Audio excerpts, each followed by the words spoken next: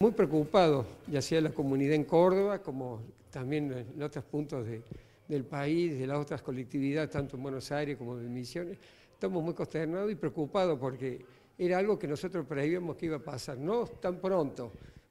También calculamos que podría haber sido más diplomático y que esto se extendiera un poquito más. Por eso lo que está pasando eh, casualmente en Kiev, donde la gente está escapando hacia la frontera.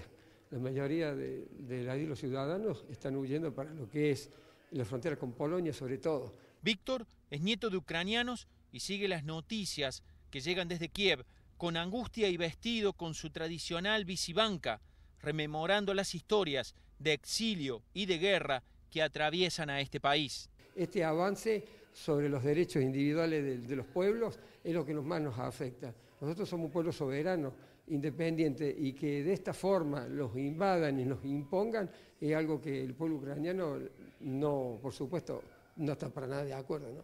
¿Falló la diplomacia occidental en evitar esta guerra?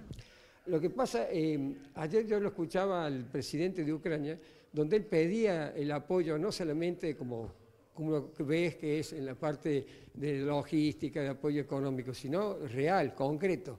Pero ¿qué pasa? Que como tuvo intención Ucrania en el 2019 de entrar en la Comunidad Europea, ahí es donde Putin dice, no, eh, acá le pongo una barrera.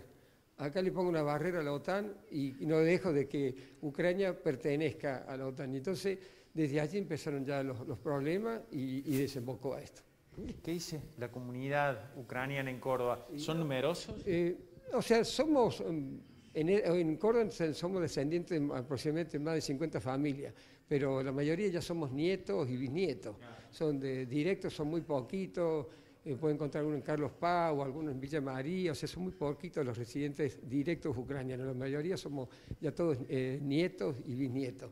Pero sí, estamos afligidos, porque nosotros, a pesar de que siempre eh, mantenemos las tradiciones, los bailes, las comidas, los festejos, esto nos duele muchísimo porque sabemos que es un pueblo sufrido.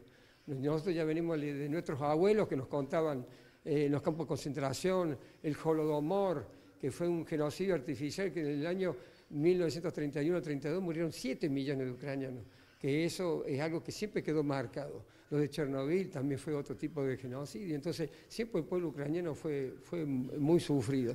O sea que como que esto, más allá de que lo ha sorprendido, este, por supuesto tenemos generaciones nuevas. Hace 30 años que se independizó Ucrania, entonces tenemos una generación nueva con, otra mentalidad. Entonces eso esperamos que el día de mañana se vuelva a, realizar de nuevo las conversaciones y que esto sea nada más que, digamos un paso. No, espero que, esperemos que no se vaya a mayores ni que se extienda mucho.